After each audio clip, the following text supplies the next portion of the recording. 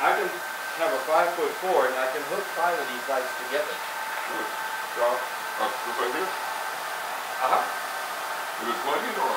yeah, it plugs in, but the other end plugs, uh, there's a hole, you stick this little thing out Uh-huh. and plug in the cord. And so you can extend up to five of them.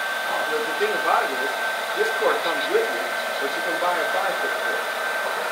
So, uh, you plug in the next one and up to a total of five.